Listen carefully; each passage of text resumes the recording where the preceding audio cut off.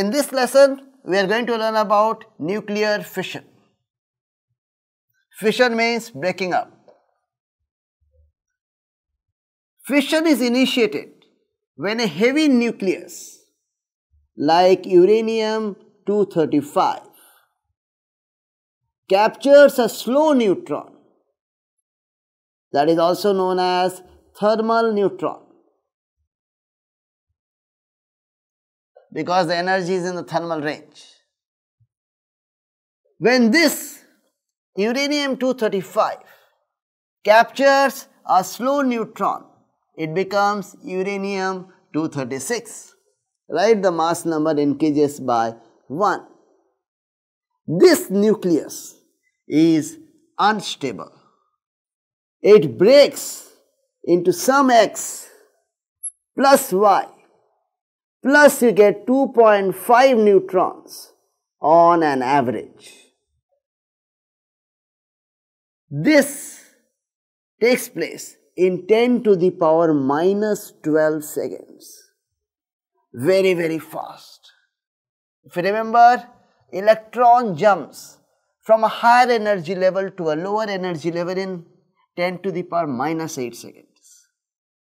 When a nucleus emits an alpha particle or a beta particle, it goes to an excited state and jumps back in 10 to the power minus 10 seconds. But here, this intermediate nucleus breaks up into two parts. And it produces neutrons, 2.5 neutrons on an average in 10 to the power minus 12 seconds. This X and Y can be 90 different kinds of nuclei. X and Y are not fixed. And some reactions will get 2 neutrons.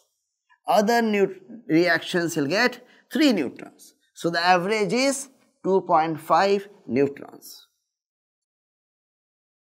Now, these are called fission fragments. These fission fragments fly out with lot of energy, kinetic energy. Neutrons also pick some energy. And these fission fragments are typically radioactive. So some energy goes as radioactivity of fission fragments. So from where is this energy coming? This energy is coming because the total mass of daughter nuclei, including these neutrons, is less than the mass of parent nucleus. And the difference in mass, that is called mass defect, that is released as energy. The energy is the energy equivalent to mass defect. Okay, mass defect is mass of all these things minus the mass of this nucleus. The binding energy per nucleon of daughter nuclei is more than 0.9 MeV compared to parent nucleus and this results in the release of energy. This is called nuclear fission. One example of nuclear fission, we can take, we can take some example of X and Y. If you look at uranium 236, this can break up into barium and krypton. Plus you get 3 neutrons in that particular reaction.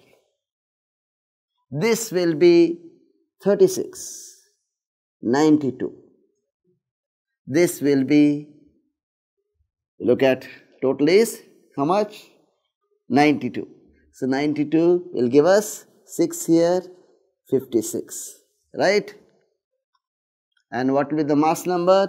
95 we got here. So subtract 95 from here. You get 141.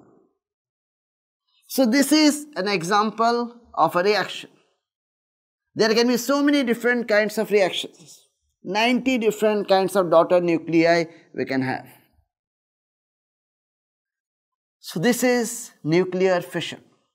Nuclear fission is initiated when a heavy nucleus like uranium-235 captures a slow neutron. This is called thermal neutron. Then it breaks up into two parts, okay, which are not at the extreme, they are in the middle of the periodic table, you can say. Like they are broken up into barium and krypton. And we get an average of 2.5 neutrons in this nuclear fission reaction. And we get an energy which is 200 million electron volts, 200 mega electron volt, huge amount of energy per reaction. That is coming because the combined mass of daughter nuclei is less than the mass of parent nucleus and that mass is converted to energy.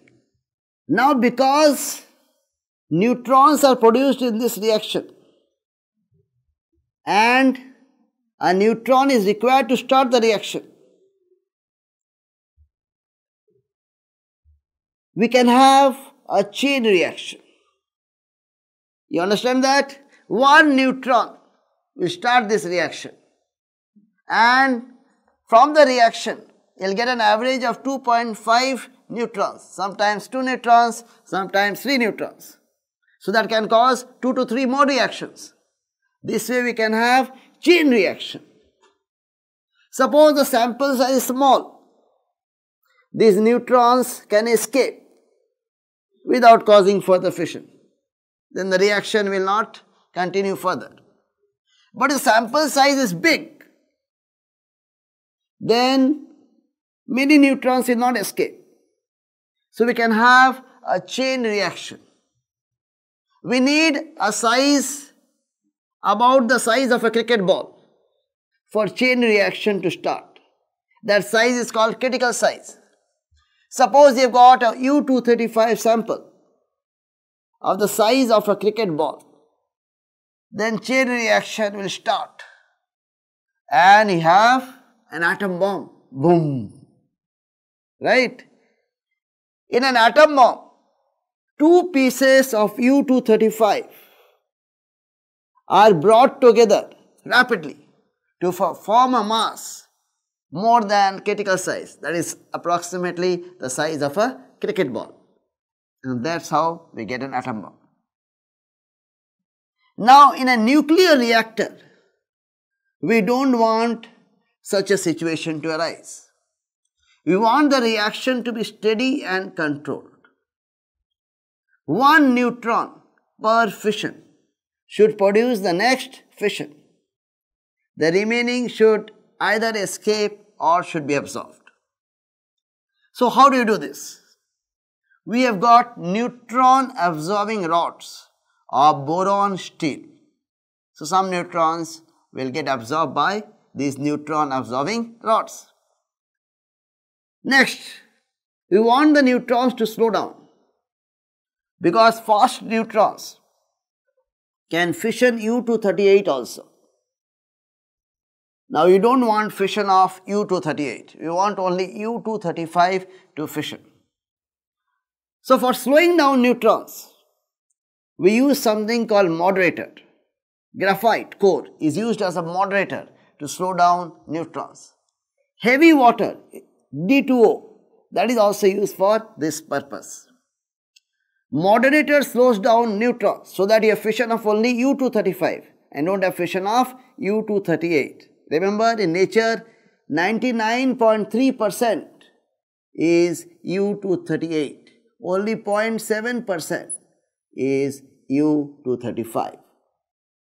U235 fissions with slow neutrons. In fact, plutonium-239 also fissions with slow neutrons. U-238 fissions with fast neutrons. For an atom bomb, you need U-235 and separation of these two is not easy because chemically you cannot separate them. They got the same chemical properties. So you have to use some physical techniques to separate these two. That is where the real technology is. Initially when this technology was developed, it should take very long time to separate these two isotopes. The first atom bomb that was dropped at Hiroshima was based on uranium-235. For the second atom bomb, they did not have sufficient enriched uranium and that was based on plutonium-239. Plutonium-239 also fissions with slow neutrons.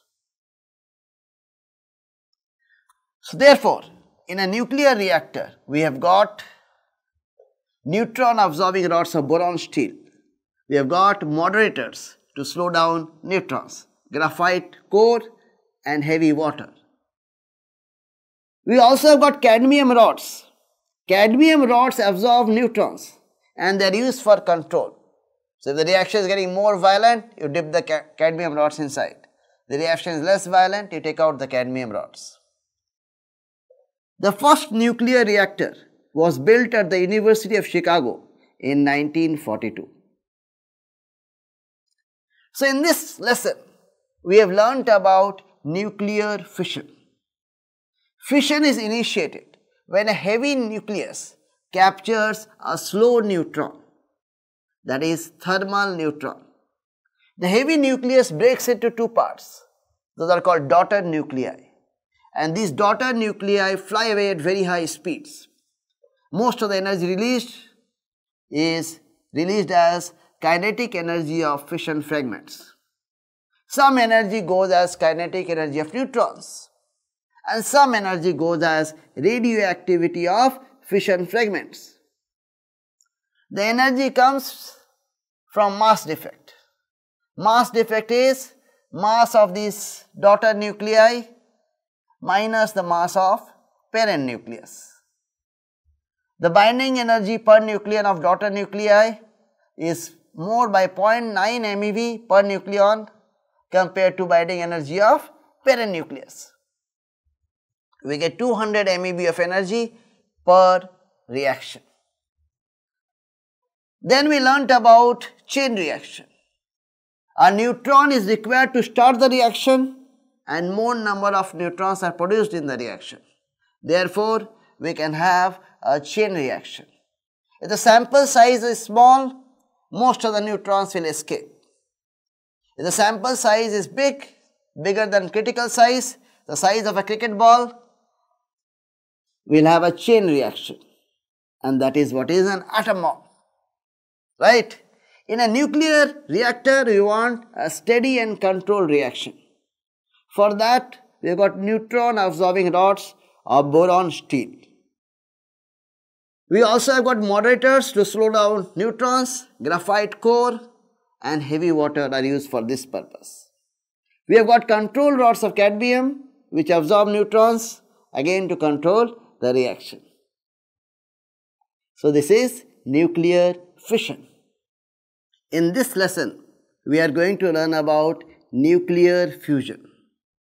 Nuclear fusion means two light nuclei are combining to form a heavy nucleus. Right? Remember that graph of EB by A binding energy per nucleon against mass number which is the number of nucleons. So this is the graph.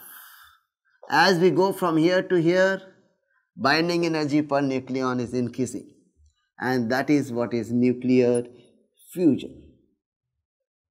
Okay, when you go from here to here, it is fission, this is fusion. So, nuclear fusion is when two or more light nuclei combine to form a heavy nucleus.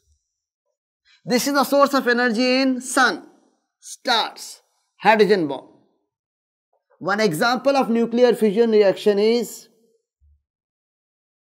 two deuterium atoms or two deuterium nuclei rather combining to form a helium nucleus plus we get one neutron.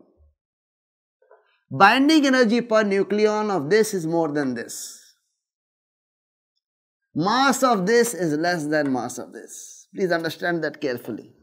Mass of this plus this is less than mass of this plus this. The difference in mass is converted to energy. binding energy per nucleon of this is more than binding energy per nucleon of these two. And that's why we get energy in this particular reaction. In this reaction, we can get, we get 3.3 MeV of energy. You may think that is less. In fission, we got 200 MeV of energy per reaction. Here you are getting 3.3 MeV of energy per reaction. That may disappoint you, right? But actually, look at the mass of these two. Compare that with the mass of uranium-235 that underwent fission. The energy released per unit mass in fusion is more than the energy released per unit mass in fission. So in this process, per unit mass, you get more energy. Now these two will not combine easily, right? Because there is electrostatic force or repulsion between them. To make them combine, we need a very high temperature, 10 to the power 8 to 10 to the power 9 Kelvin. Right? You cannot imagine this temperature. Now, how will you get this temperature? On Earth, we get this temperature by nuclear fission. You start a nuclear fission reaction, get this temperature, then fusion will start. In the sun, the temperature is little bit less. The temperature of the core of the sun may be around 10 to the power 7 Kelvin. There the reaction is taking place at a slightly lower temperature because of huge number of deuterium atoms. Right, so many nuclei are there, so they can collide and the reaction takes place. So this is nuclear fusion. This is the source of energy in hydrogen bomb, in sun, in stars. Everywhere nuclear fusion reaction is taking place. Now, people have not been able to build a nuclear fusion reactor, a controlled nuclear fusion reactor so far. If that is built, it will be a very good source of clean energy because here the products are not dangerous, they are not radioactive that way. If you build a controlled nuclear fusion reactor, definitely you'll get a Nobel Prize. Right? That is be such an important discovery. We have got new controlled nuclear fission reactors. But the problem with them is that the products that we get are radioactive and they're dangerous. People talk about nuclear waste. And that's the main problem with these nuclear reactors. They're dangerous kind of things. This will be giving you products which are not dangerous. So try and build a controlled nuclear fusion reactor one day and get a Nobel Prize.